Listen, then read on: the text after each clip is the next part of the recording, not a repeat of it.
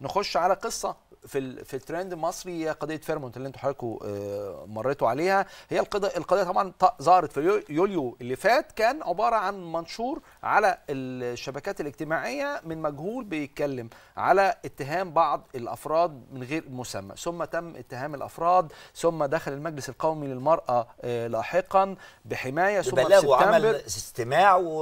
وقدم الشهود. ثم في أغسطس ال- النائب العام قرر آه، قبض المت... القبض على المتهمين بعضهم هرب جابوهم تاني جابوا ثلاثة من. لبنان لكن في ناس لسه هربانة وبعض الشهود اللي تقدموا دخلوا متهمين في القضية فالقضية مستمرة اللقطة الجديدة إن آه، بعض المتهمين تم إخلاء آه، سبيلهم سبيلهم منهم آه، نازلي بنت بنت الفنانة نهى العمروسي. وكان المحامي بتاعها ليه تصريحات ليها علاقة والتصريحات ديت يعني أثارت جدل كبير جدا على الشبكات الاجتماعية ده كان مع الأستاذ عمرو أديب آه. بالظبط كان آه. امبارح مع أستاذ عمرو أديب وكان فحوى ال- التصريحات دي ليها علاقة بإنها بنت الفنانة نهى العمروسي عندها ظروف نفسية ربما حبسها الكتير يؤدي إنها تأذي نفسها قالوا بنسبة 20% يمكن يؤدي للانتحار فده ده ده على حسب وصف ال ال آه. طارق العوض المحامي. وهي بتتكلم وهي نهى طلبت النائب العام كذا مرة التدخل وكان في تصريحات لوالدة أحد المتهمين فالقصة مليانة والدة أحمد آه، الجنزوري في كانت من جريمة. العناية المركزة واتكلمت وبكت ونجدت السيد الرئيس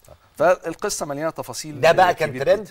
آه ده كان ترند وكان الناس مهتمة جدا بيها. القضية ترند بشكل عام. هي شائكة هي وقضية مثيرة للشهية وللنميمة. أيوه بس فكرة الاعتماد على إن 20% آه، آه، يعني قابلة البنت عندها حالتها النفسية ممكن تؤدي للانتحار ده طب ما دي ممكن يع- يعتمد طب- عليها كل الناس التانية عشان الإفراج بعد كده. هي مش كلام كده ده في لجنة طبية والنائب. العام بيستدعي لجنة وبيتأكد منها وبتكتب له تقرير معتمد. بس لا أقصد شغلانة يعني أقصد يعني نقطة مش يعني قوية ناس كتير أنا جدا مخلول ويروح مع إسماعيل ياسين فيقولوا له روح. بس خلينا نقول معظم الناس اللي بيتم اتهامها أو الجرائم بحد بحد ذاتها معروف إنها مش لناس دايما بيبقوا ستيبل يعني مش بيبقوا متزنين. أكيد.